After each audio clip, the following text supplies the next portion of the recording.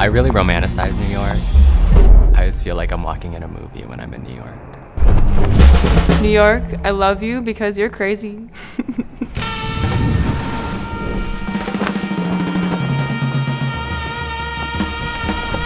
Every time I walk outside, I see something new happening and think, I want to try that too. New York makes me feel loved.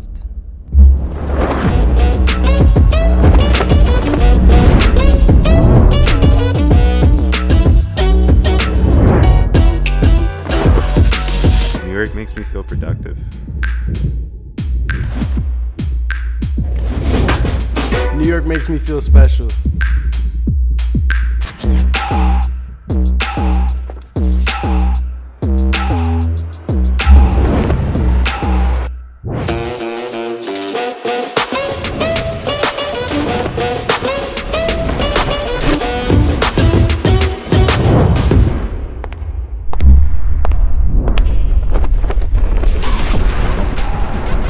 Have a really big group of friends here in New York. It's like it's like a family. We're just all really close and that's what I really love about being here.